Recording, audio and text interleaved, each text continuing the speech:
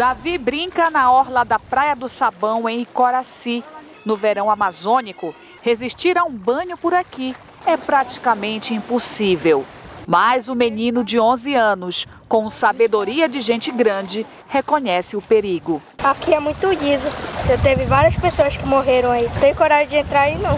Muitos banhistas ainda se arriscam. Na tarde da última quinta-feira, Paulo Henrique Soares, de 11 anos, tomava banho com os amigos aqui nesse trecho da Praia do Sabão. Ele foi levado pela correnteza e não sobreviveu.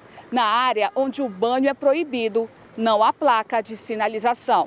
Walter que o diga. Foi até Icoraci para aproveitar o penúltimo final de semana das férias escolares. Não encontrou sinalização na orla. Estamos vindo de lá, do começo de dezembro, lá do Trapicho, Trapicho lá para cá, não tem nenhuma placa informando de nada, não. Roberto trabalha há mais de 30 anos nessa área. Segundo ele, casos de afogamentos são frequentes na Praia do Sabão. 20 ou mais de 20 já morreram aí já.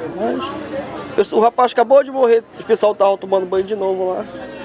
Então é questão que Agora, se viesse, botasse uma placa de, de aí assim, talvez acabasse. Em maio do ano passado, um jovem de 17 anos morreu afogado no mesmo local. Segundo o Corpo de Bombeiros, no verão de 2017, já aumentaram em 40% os princípios de afogamentos no estado.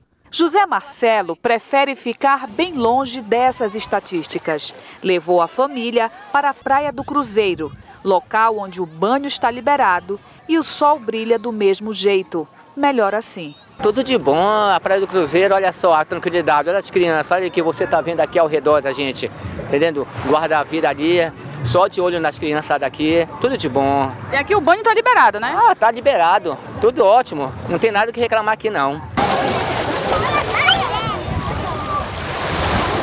Oh no!